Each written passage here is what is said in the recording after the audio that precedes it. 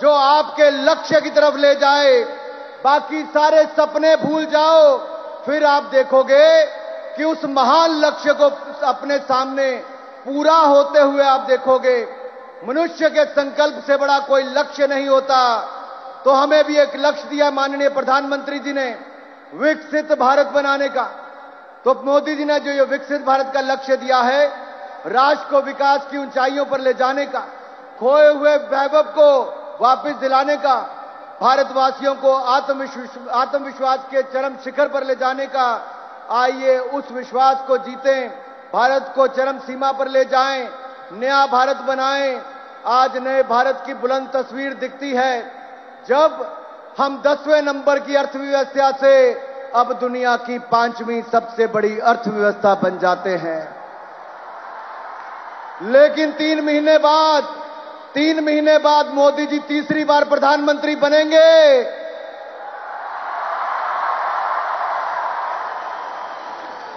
और जब तीसरी बार प्रधानमंत्री बनेंगे तो हम दुनिया की तीसरी सबसे बड़ी अर्थशक्ति बन जाएँगे।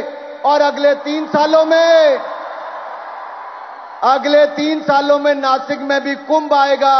एक और हम नासिक का कुंभ बनाएँगे दूसरी तरफ़ दुनिया की तीसरी सबसे बड़ी अर्थव्यवस्था बन जाएँगे।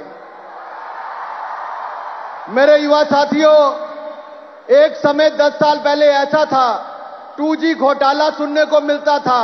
आज आत्मनिर्भर भारत का अपना 5G का नेटवर्क दुनिया में सबसे बड़ा बन गया है। उस समय कॉमनवेल्थ खेल का घोटाला सुनने को मिलता था। आज भारत के खिलाड़ी 100 मेडल जीतकर एशियन गेम्स में आते हैं। और हम जल्द ही ओलंपिक्स का आयोजन भी करने वाले हैं। उस समय अंतरिक्ष घोटाला सुनने को मिलता था।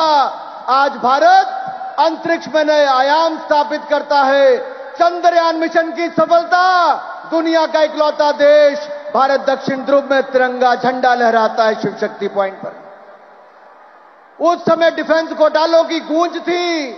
आज आत्मनिर्भर भारत में एक लाख करोड़ की डिफेंस प्रोडक्शन के नए रिकॉर्ड बनाए हैं। उस समय कोल स्कैम था।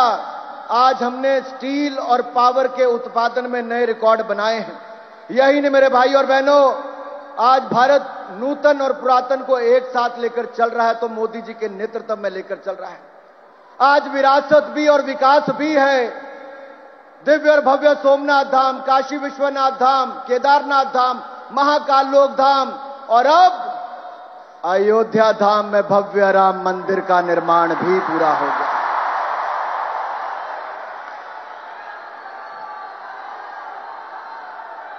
युवा साथियों, स्वामी विवेकानंद जी ने कहा था कि स्वस्थ शरीर में ही स्वस्थ मस्तिष्क निवास करता है।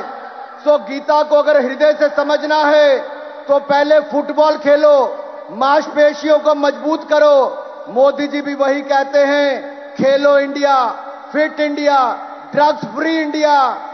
Fit India ये मतलब फिटनेस का डोज आधा घंटा रोज। और नशा मुक्त भारत का भी संदेश दिया है। एक अंतिम बात करके मैं अपनी वाणी को विराम देना चाहता हूँ मेरे साथियों। आजकल कुछ लोग जातिवाद और क्षेत्रवाद का जहर घोल रहे हैं।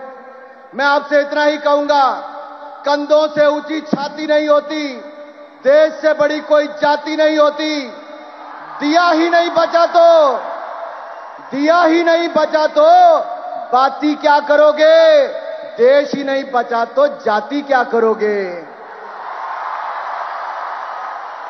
अरे, पहले देश को तोड़ने वाले थे, आज जोड़ने वाले हैं।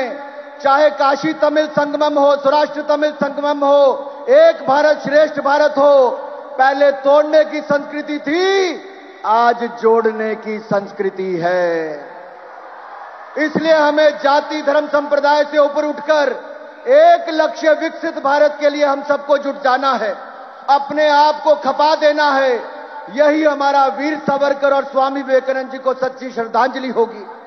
युवा साथियों, घबराना मत, डरना मत, हौसले गिरने मत देना। क्योंकि हौसलों के तरकश में कोशिशों का वो तीर ज़िंदा रखो, हार जाओ चाहे सब कुछ मगर, फिर से जीतने की उम्मीद को ज़िंदा रखो। एक बार फिर इस शानदार कार्यक्रम के लिए आप सबका बहुत बहुत धन्यवाद। आयोजकों का बहुत शानदार कार्यक्रम किया है। और अगर आप विकसित भारत बनाने के लिए तैयार हैं, तैयार है कि नहीं? 25 साल देने के लिए तैयार है।